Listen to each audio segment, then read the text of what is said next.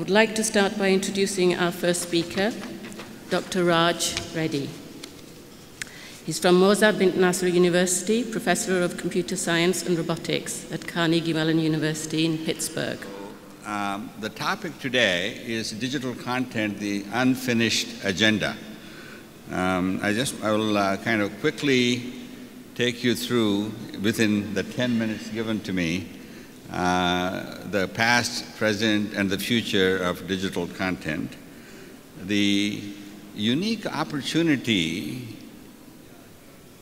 of content was obvious even before the invention of the PC. We were already scan, you know, looking at images, and image processing was being done early as, as early as 60s in the, at Stanford AI labs. Uh, and the speech and image and audio digitization was happening. Uh, what was new was rather than trying to process and understand what is in an image, maybe there's a huge market or desire for simply storing it and making it available. And uh, you see the uh, business models such as iTunes and Amazon, where they felt maybe we can sell it. Now you also see the business models of YouTube, where they say you don't need to sell it, you know, you just put whatever you want and people will use it. And so it's a different business model.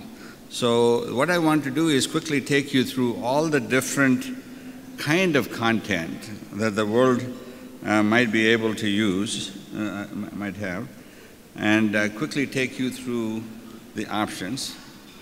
And uh, basically, the original idea of uh, digital library was pr uh, promoted, proposed by John McCarthy in 1975 or so.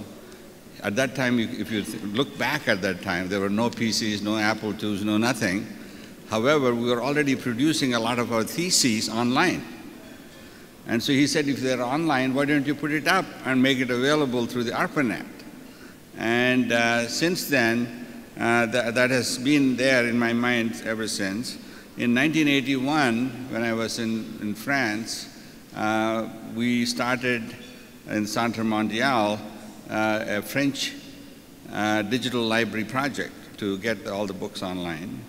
And uh, since 1995 at Carnegie Mellon, we have had a number of efforts, and I'd like to quickly show you the uh, one of the the current state of the art at 1997.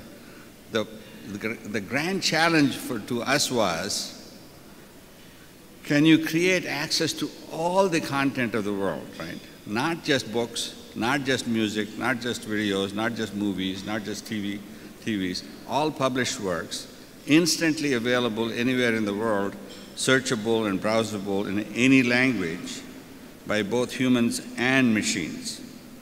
And uh, so this task, we thought even then, was something that's going to take hundreds of years and well beyond our lifetimes. And it's like building the Great Wall of China. So there are a lot of books that have been scanned. Uh, uh the the uh, that Million Book Project has scanned over two million books, and it's a partnership between China, India, Egypt, and USA. And here are some examples of it, including an ancient Urdu book, an uh, Arabic book.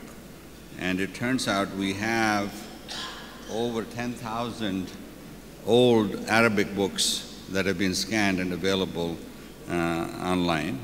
And uh, here is uh, an example of a newspaper. Uh, the uh, assumption is ultimately you'll be able to see large numbers of maybe a thousand newspapers for the next thousand years so that you can essentially go back in time at any point and be able to read them. And uh, the same is true for magazines, same is true for paintings and music and movies and lectures. And so, as I said, and, and monuments. You know, basically, there are 870 or so UNESCO heritage sites around the world. None of us have the time or, or the ability to go see all of them, or even some of them. Uh, more than 80% of the population never sees even more than one or two, that too if they're lucky. So the question is, can you provide all of those heritage sites online so that you can actually get access to and, and, and enjoy the monuments of the world, right? So there are a lot of research challenges. I won't go through them.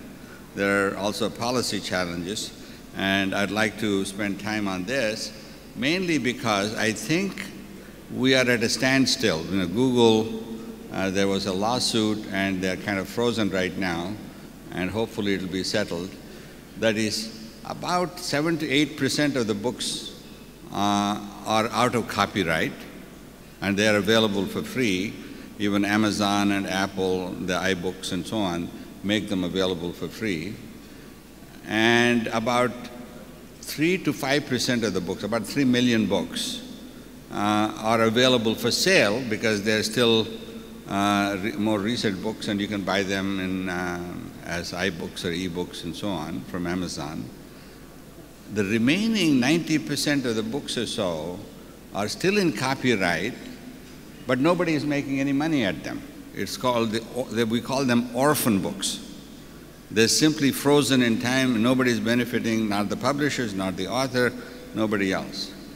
And what we have been proposing is an enabling legislation that could be done, say, by Qatar, which says any book after five years or six years or ten years will, can be scanned and put online, but the author has the right to request removal of it. So it's a opt out rather than opt in. That was the thing that was ruled illegal in, uh, in USA by the courts. That uh, you have to go and ask each person for permission. That, that'll never happen because many of them are dead and you can't reach them and it's still in copyright. And so the whole problem is tied up in knots. The small country like, you know, but the issue is not so much whether you scan it and make it available, it is somebody's property. You can't simply take it. So you have to be able to say, if anybody reads your book, we'll give you a small token royalty. England already does this in the form of what they call public lending right. I don't have the time right now, but if you are interested, you can go type public lending right into Google and you'll find answers. So what I would like to end my talk with is there are all this content and unlike patent laws where your patent expires after 18 years, the copyright goes on for 100 years and they've been changing it every, every 10 years, 20 years, extending it by another year, another few years. So I, I wouldn't be surprised in another 20 years the copyright extends for 200 years. And so that kind of becomes ridiculous. And, and the problem is, while there may be some things like Mickey Mouse, which has a lot of value even after 100 years, most of the books and most of the music, most of the documentaries, most of the vi videos are simply not available uh, because of the copyright problem. We have to solve this problem, and I think uh, Qatar and ICT Qatar is uniquely positioned to do something about it. Thank you.